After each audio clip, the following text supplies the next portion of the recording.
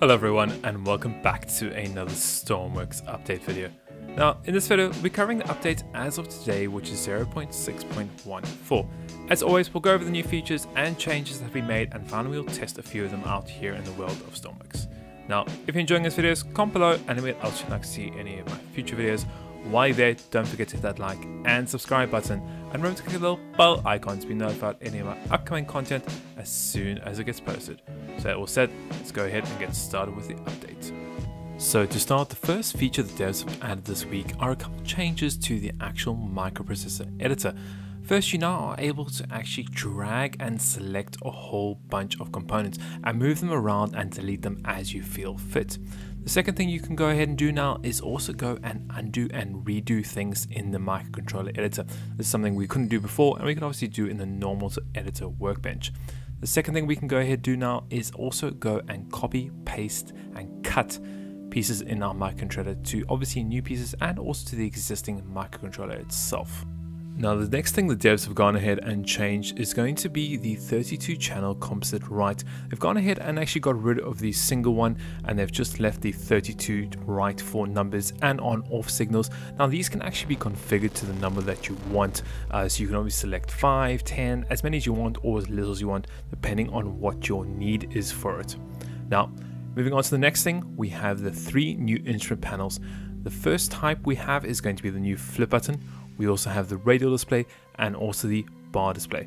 Now the radial display and bar display instruments can be painted individually as you feel fit so they have 8 different segments or bars to it which you can go and paint to your liking so obviously these are going to be quite useful for obviously painting batteries and doing battery, battery indicators on your creations here in Stormworks.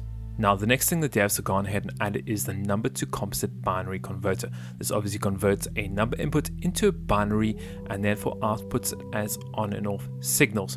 We also have the composite binary to number converter, so completely the opposite of the before, reads obviously on and off signals and then sends it out as a composite and encodes it in bits and number output. Pretty straightforward.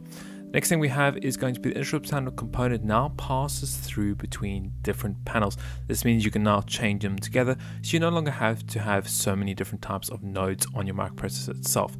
So, so far quite a lot of changes to the microprocessor component itself and also to the panels themselves. Now, They've gone ahead and removed all the different types of arrow buttons that we have inside the panels itself. They've now condensed it into one single one where you can obviously just change the direction of it, going up, down, left, and right, and so on and so forth. They've also gone and taken away the 7 segment advanced ones and condensed it into one single way when you have the option to now go ahead and select the different types as you feel fit. You can obviously do a bit code, which is a number, or you can do a on and off there. And then moving on to the last features devs have gone ahead and added this week is going to be with the composite read and the composite write microprocessor controllers themselves, where you can now actually go ahead and choose your channel selector as a variable. This means you control the channel itself using a number input. This is pretty cool. Obviously, if you want to get in a little bit of advanced logic here, uh, you can obviously get into this and start controlling it using a number single. Whereas before, we could only select it using the actual microprocessor in there and changing the number statically. So that's all for this week's update. If you want to see the full list of changes and fixes this week, make sure to check out the announcement in the Stormworks official Discord server.